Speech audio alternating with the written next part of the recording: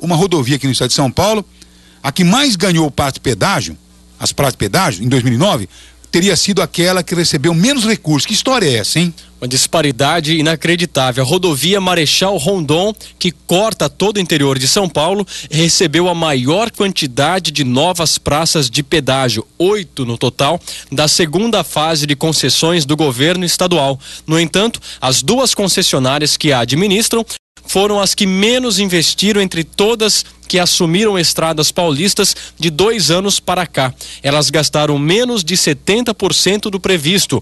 A Via Rondon, responsável pelo trecho oeste da rodovia, desembolsou 69 milhões de reais em melhorias até julho, apenas 61% do previsto. A Rodovias do Tietê, que cuida do trecho leste da Marechal Rondon, gastou 76 milhões de reais, ou seja, 69% estimado por sua proposta original. Os resultados destoam do volume de investimentos das outras concessionárias, que gerenciando malhas rodoviárias semelhantes ou menores, injetaram entre 106 milhões e 408 milhões de reais, de 80 a 165% do programado.